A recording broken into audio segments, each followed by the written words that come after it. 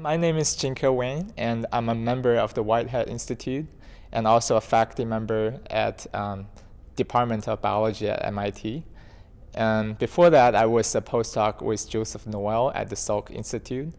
I know about Tansley Medal for many years, so since I was a grad student, I saw um, this medal and I was quite inspired following all the previous winners and these are all my uh, role models throughout the year and uh, last year I thought I'm, I may have a try and I was so lucky and uh, it's a great honor to, to win this medal.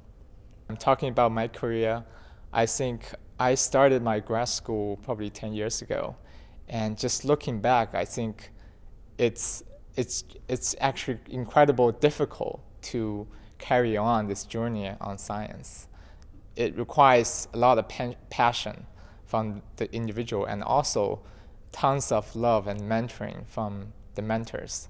Um, so I think it's it's very very important to have a symposium like this so that we can have group um, of young scientists coming together and sharing their passion, sharing their motivations, and also establish these early collaborations. I think these will be essential for the future uh, when they go on to start to lead their own independent research career.